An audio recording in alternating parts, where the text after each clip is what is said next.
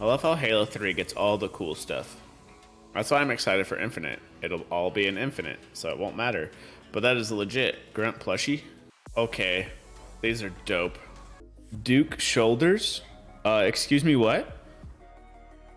The Beast, the OG Xbox. Oh, that's legit. The AR for Halo 3. Mirage armor, Halo 3.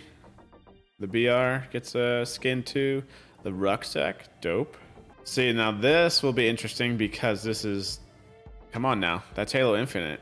I'd like to see the numbers switch from the Master Chief Collection to Halo Infinite. See how many people actually get this, I guess, but those are dope, dope rewards though. Kind of sucks that they came now. Okay, so they'll be available in the exchange, and then that's when they'll be there. Okay.